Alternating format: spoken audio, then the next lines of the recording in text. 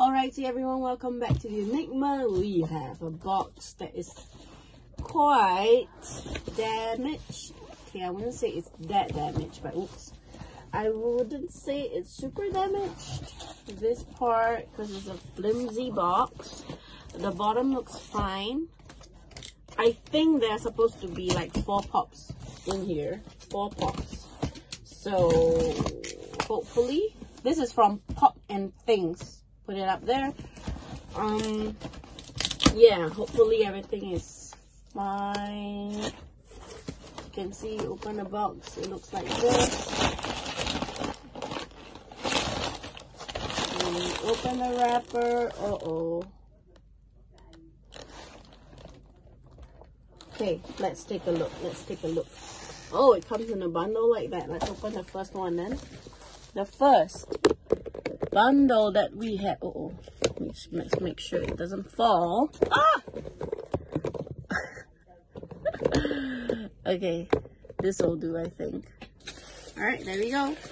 Sorry for the segue, but okay, let's take a look. This is my second Kurogiri glow, I believe. My second Kurogiri glow the glow on this thing is actually not bad. So I'm probably going to keep this one since I have the other one for sale. And then we have Mr. John Lennon himself. This is the psychedelic glasses one. Looks pretty cool, yeah? Looks pretty cool. Oh, fuck. Yep, the dent in the box did this dent in the box. Yikes, yikes, yikes. Okay, there's no way, no way to fix this one. It's right there. You guys can see goes along over here. Oh well. Alright, the next one we have are these two. Let me take out the packing slip. Hopefully these two are fine because they're pretty good ass pops. Alright, first one we have President Loki. President Loki. Let's take a look if there's any damages. Uh, nope. This is from the recent con, winter con. Only that very minor thing over there. And next one, okay, I don't know what's happened to this beast. Oh, he's so heavy. Oh my god.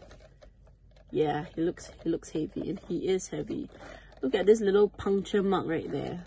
That's because of his horn, is it? I'm not sure. Maybe it is. Alright. Here is the beast. This is one of the earlier beasts. There are so many right now and the dirty bottom. Dirty bottom with dirty residue. Alright, there we go. Those are our buys from Pop and Things, sadly. I think Beast already came like that. I believe he showed that to me. He should, uh, he should be like a little flawed with shelf wear since he's so old. But Lennon though, oh, I cleaned those black marks off, so don't know what those are. Let's just do that. Alright, the bottom, I don't think that, that can be cleaned. Sticker residue, but yeah. Lennon is the one. Alright, there we go. Thanks for watching everybody. See you guys in the next one. Goodbye.